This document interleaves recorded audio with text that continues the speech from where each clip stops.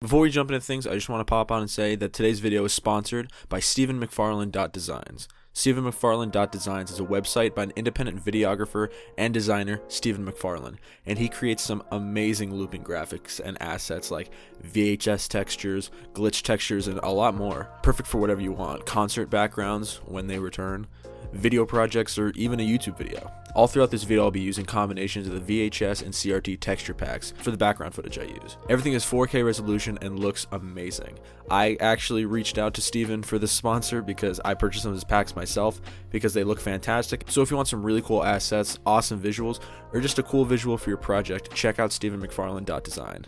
Okay, let's get into the content, fellas. What's up, y'all? Welcome back to Red Letter Media. I'm your host, Kenny Omega. Ambient music is a genre that I feel, as of late, has exploded in popularity. In many different forms, mind you.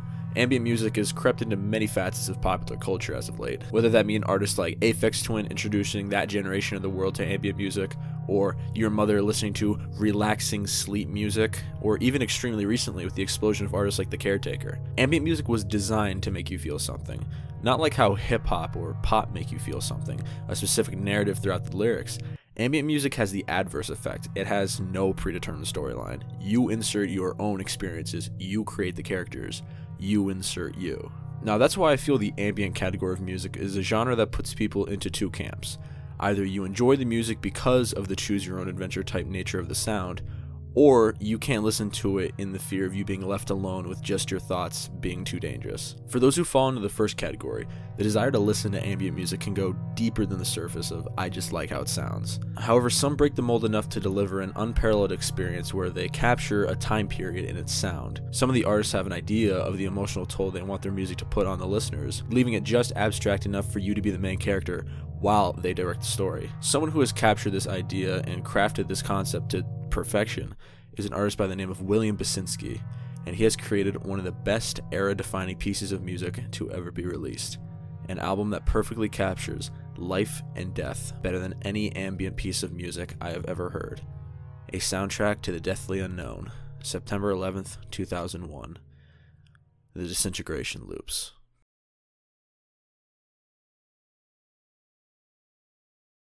Yeah, this is going to be a rough one. Strap in. General advisory again, this video going forward is going to contain quite heavy subject matter, so proceed with caution from this point on. But with that said, I'm going to try my best to not make this too horribly depressing, but no promises. The Disintegration Loops is an ambient project, series of four releases by William Basinski that clocks in at over four hours.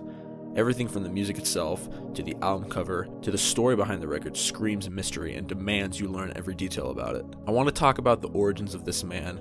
I want to talk about the origins of the music. I want to talk about the music itself, the lore behind the music, the aftermath of the music, specifically the influence it had on the genre vaporwave, and how it's affected the world since. But before I talk to you about the monster in this video, I feel it only makes sense to explain the doctor who made it. William Basinski was born in 1958 in Houston, Texas. In the early stages of his music career, he would use physical tapes and reel to reels to record his music. Basinski's calling card was the art of taking a very melodic short loop of music and repeating that over and over, adding distortion and reverb, creating these otherworldly atmospheres. He would release his first official release titled Shortwave Music, being recorded in 1983, but not being officially released until 1998. This habit of recording music decades before release would be an orbital one, so keep that in mind. This would be followed by Water Music in 2000. I don't want to speak on this one too much because uh, I'll just say stay tuned on a video coming soon. Little did Basinski know the events following Water Music would change the world more than he could have ever imagined.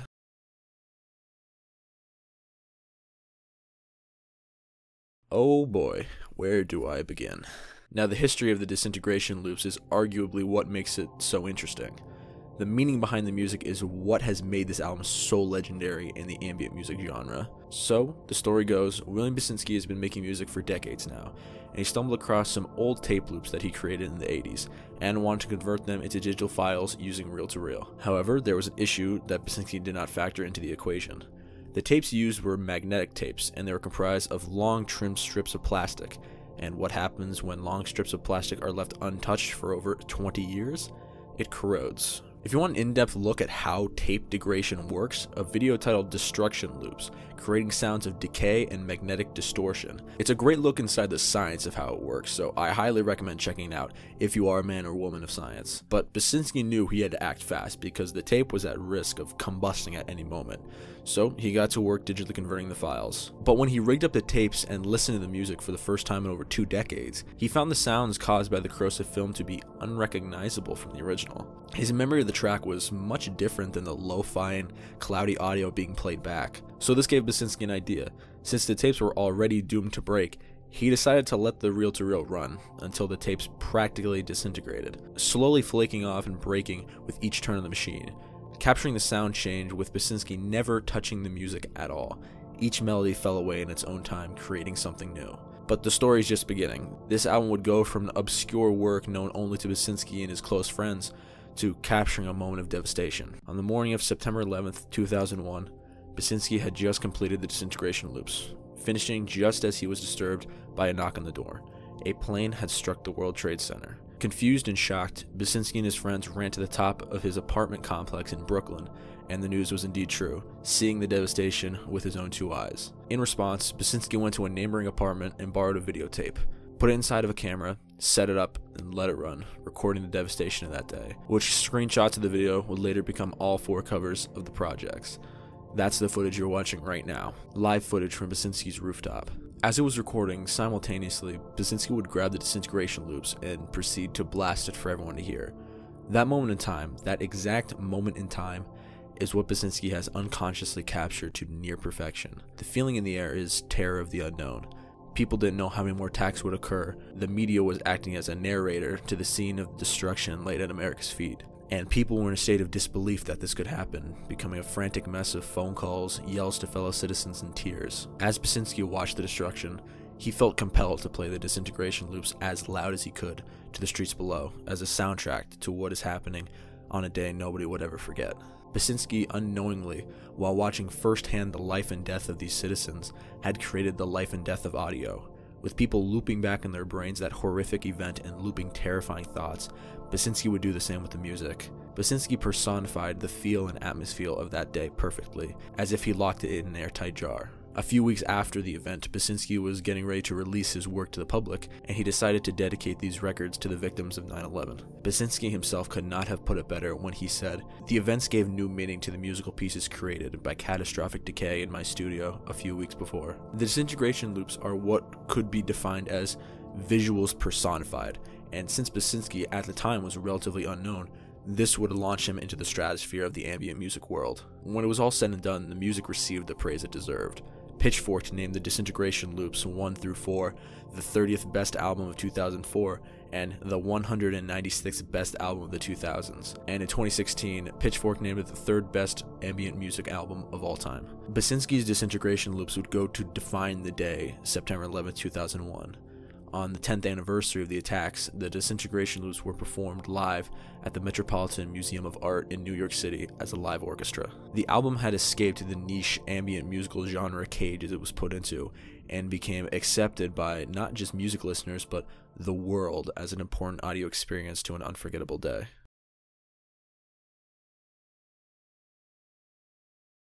Okay, hopefully this is the end of the depressing topics. Hopefully.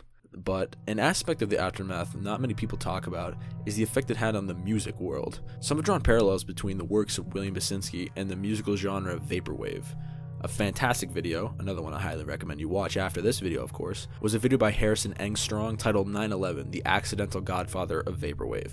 He makes some incredible points and does a great job in his own right telling the disintegration loop story, which I highly recommend giving a watch if you're still curious about this topic. Like I mentioned before, Basinski captured a feeling, captured a moment in the disintegration loops using heavy reverb and audio distortion to create the sound an idea that Vaporwave has been paved upon, using samples of extremely old work with heavy effects and reverb to create the sound that they encapsulate. Now I wanted to get someone else's take on Basinski's influence to the genre, and since I'm no Vaporwave aficionado, I thought with my little noodle and had the idea to get one.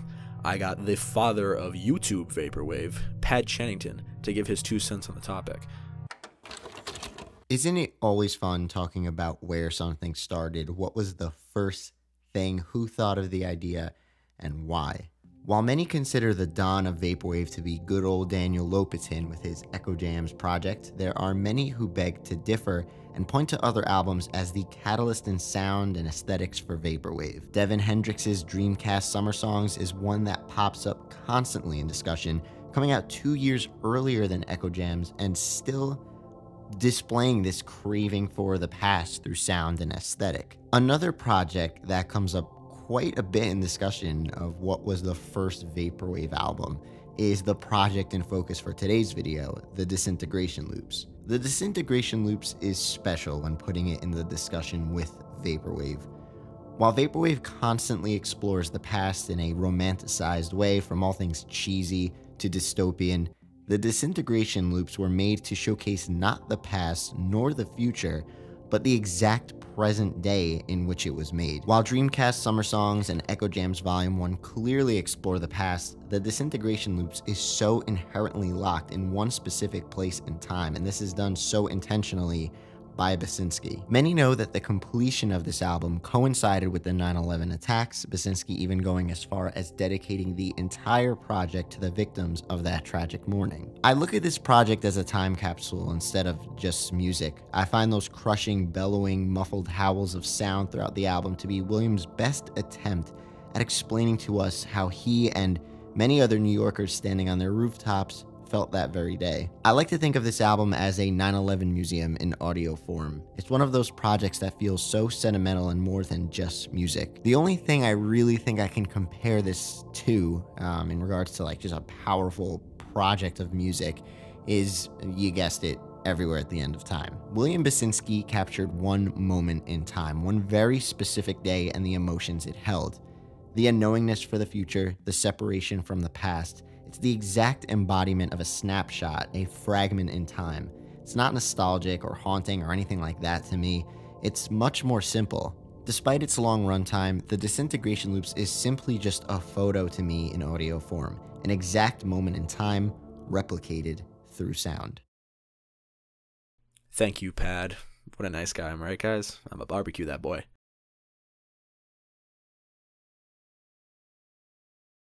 Even with such a bare bones piece only being comprised of a synthesizer, the act of recreating this event is what gives it the emotional weight. William Basinski's cards all fell into place, all the jigsaw pieces were put together, and create a piece of music that would go down as legendary. Well, it should if it hasn't already. So I implore you to listen to William Basinski's music.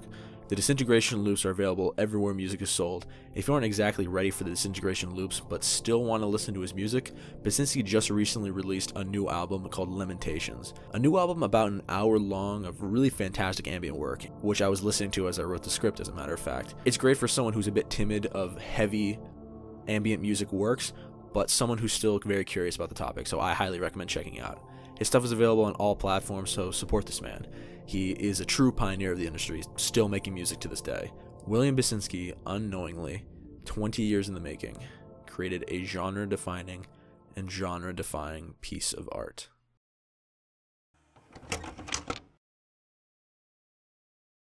Sorry for this depressing one. I haven't made like a truly depressing one in a very long time, but I felt compelled to talk about it because I get enthralled with very strange music art, and this was something I f- needed to speak about. All right, I don't want to make the end too long, so I'm going to try and speed run this section so it's not too long. But thank you to the sponsor of today's video, uh, Steven McFarlane Designs. If you like the footage played throughout this video and the VHS effects put into the various footages, if you are dumb like me and only started editing in Premiere Pro like a week ago, he has tutorials of how to use all the filters and effects to the highest standard possible. So check out StevenMcFarlane.design for some awesome video assets. Links will be in the description. And as you know, I like to cite my sources in this part of the video so I can get credit for the assignment. Shout out to Destruction Loops creating sounds of decay and magnetic distortion. Great video about the actual science behind how the flaking of tapes occur. Harrison Engstrom's video, 9-11 the accidental father of Vaporwave, a great video kind of depicting the same ideas and threads that I was speaking about, so check it out. Highly recommend. Uh, shout out to Pad Chennington uh, for the video Top 13 Disturbing Albums on the Internet.